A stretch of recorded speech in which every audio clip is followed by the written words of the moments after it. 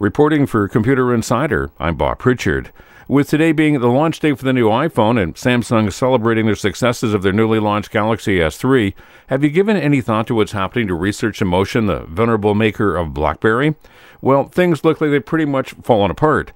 In the States, firms who monitor retail sales say that BlackBerry sales are largely unchanged in August versus July. However, there have been a meaningful lowering of inventory levels versus a month ago, which means that retailers are content with fewer Blackberries since they may not sell many of them. In fact, research shows that a meaningful number have not sold a single Blackberry in over a month. It's no secret that RIM is in trouble. The company reported a dismal fiscal first quarter in June, losing a breathtaking $518 million. BlackBerry smartphone shipments hit just 7.8 million units during the period, down 41% compared to the year prior. The problem for RIM is that the company needs help from retailers in order to turn things around.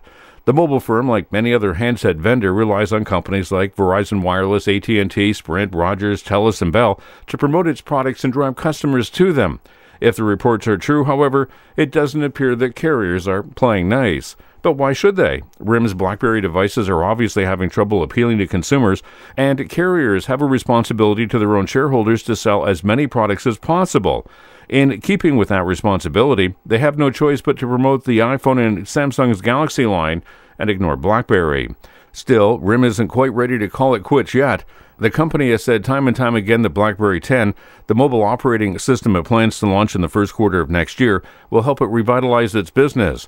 But with all the successes from Apple and Samsung, it might be a very difficult market for RIM to reestablish in. Reporting for Computer Insider, I'm Bob Pritchard.